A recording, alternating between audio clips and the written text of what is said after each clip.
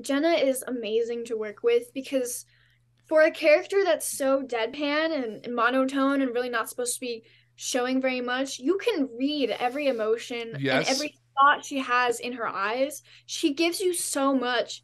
And I was nervous going into it because I was like, oh, I don't really know how to play off of this. Like, we're going to have to figure it out.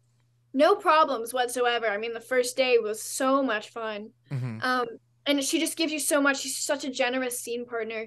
So I, I always loved working with her because I mean I had the best time with her on set. Really, she's just amazing.